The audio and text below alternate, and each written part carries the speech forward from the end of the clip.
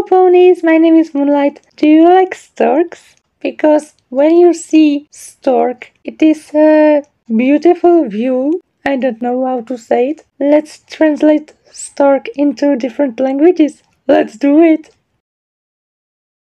Stork, stork, acaricio. I don't know. I ask friend for this translation into Latin Spanish. I don't know what is the right translation. Sorry.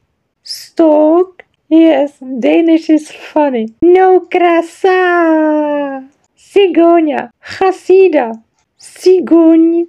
First time that French is beautiful. Oyevar. Oyevar. First time that Afrikaans is same as Dutch. Unbelievable. Pelargos. Leilech. Yes, Turkish is insane, I know. Haikara. Ko.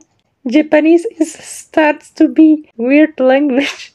Cigogna. Italian is very similar to Spanish, as you know. Gandras. Sturk. yes, I love this Norwegian translation. Like like. I can't say any word in Persian, but this is crazy. Storkia. Stoch. I don't know again if I translate it correctly in German. Karkocha. Buchan. Konga. Upe. This Malay translation is crazy. Leileku. I can't pronounce this Albanian word. Sorry. Keros. This is my first try. Pronounce Georgian. Roda. Segoya. Sterkel. Aragil. Segoya. Roda. Strk.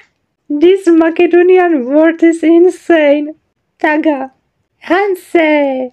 Guya. I can't translate any Hungarian word. Sorry for that. Kanka. I must laugh. Because of Hungarian, I can't say this Vietnamese. Stork.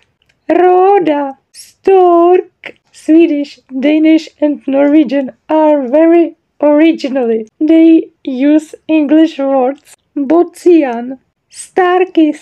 When I saw Latvian, this is so cute to pronounce. I love it.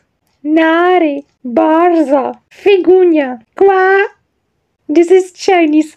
I love Chinese translation. And if you know, Qua in French means what? So this because I'm laughing so much.